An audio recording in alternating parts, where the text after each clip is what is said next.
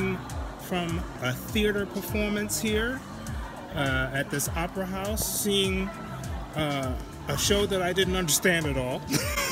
but uh, it was explained to me uh, by my co-worker Gary over here, who, who's been studying all of this stuff.